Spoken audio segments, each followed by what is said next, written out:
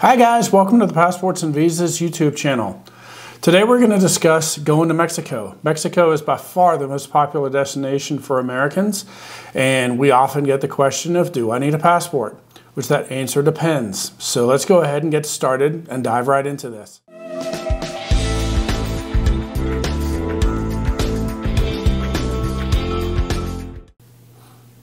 So let's go ahead and get started.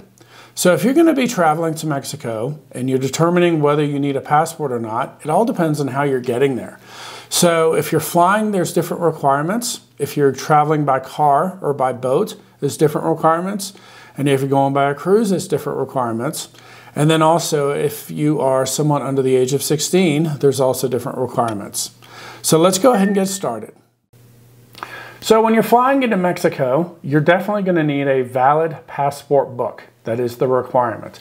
So this is a passport book right here. It's got pages in it like this.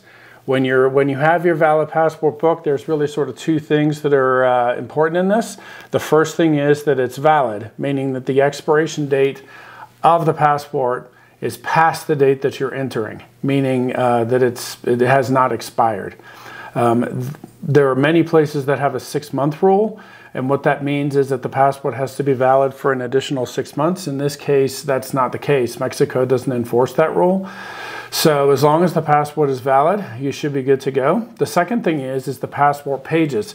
So you need to have one blank page for the authorities to go ahead and stamp your passport. But that's all that you need when you're flying to Mexico. You definitely need to have a book, needs to be valid, and needs to have a blank page. Also, when you enter Mexico, you're going to apply for an FMT, uh, which is sort of like a visa on arrival, which basically gives you access to Mexico for up to 180 days. As a reminder, if you like the information that you're getting, uh, we'd love you to subscribe to this channel and like this video. We'd really appreciate it we'll keep kicking out content like this. All right, so the next option is, is if you're traveling to Mexico via car. So you're crossing the border through uh, Texas or Arizona or California, and you're just heading there via car for maybe a day trip or something like that. So the requirements are a little bit different. So in the case of traveling by car, you can obviously use your passport book, but you can also use a passport card, which is the size of a driver's license and is useful for also traveling across the border in a car. Um, you can also use an enhanced driver's license which is only available in four states. But if you have access to one of those and you have an enhanced driver's license, you can drive across the border with that. So to recap, um, in order to travel across the Mexico border via a car, you can have a passport book, a passport card, or enhanced driver's license. And all of those have to be, of course, valid. They can't be expired. Uh, but if you have one of those, then you should be good to go. So if you're traveling to Mexico via sea or via the ocean, it's kind of two options with that one. So if you're on sort of a private boat, you have to have the same thing as via a car. So a valid passport book, a valid passport card, or an enhanced driver's license will, will be utilized in order for you to travel via a boat into Mexico. Also, if you're traveling via a cruise, which is sort of a little bit different than a boat, but, but it's just a bigger boat. um, so, if you're traveling via a cruise, um, most popular cruises are called closed looped cruises, which means that you're traveling to Mexico from the United States, going and doing your seven day cruise, and then coming back to the US um, to back to the same port. That's considered a closed loop cruise. And in that scenario, um, you can utilize a birth certificate um, a certified birth certificate from the United States to prove your citizenship, along with a driver's license. Um, it's not recommended though. None of the cruise lines recommend this for a variety of different reasons, and we'll get into that in a different video. Um, but in the case of cruises, you have basically four options. You can use a passport book, passport card, an enhanced driver's license, or you can use a certified birth certificate.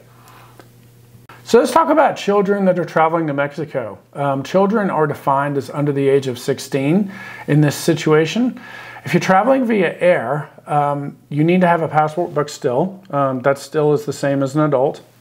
But if you're traveling via car or via sea, then you also have the ability just to use a birth certificate. So if you're traveling with your parents and you're under the age of 16, you can use a certified birth certificate issued by a government agency in the United States. So if you're traveling via flight, again, you just need the passport book. If you're traveling via car or sea, then you can use the book, you can use the passport card, you can use a certified birth certificate um, if you're traveling with your parents. So hopefully this helped clean up a little bit of the information regarding uh, needs to go to Mexico and the requirements of the various travel documents, covering the need when you need to get a passport book if you're flying.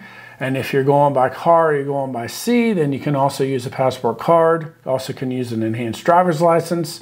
If you're under the age of 16, or if you're going on a cruise that's a closed loop cruise, then you can just use a birth certificate. Of course, most of the times it's best just to have the passport book, and we can certainly help you with that if you need to get one fairly quickly.